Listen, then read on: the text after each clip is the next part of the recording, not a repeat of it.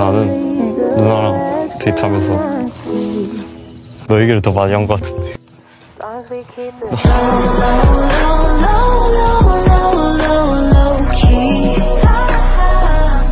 너무 매력 없지 않냐?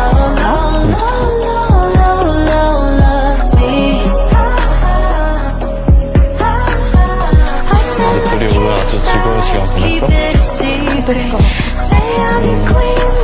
밌으면 다행이고.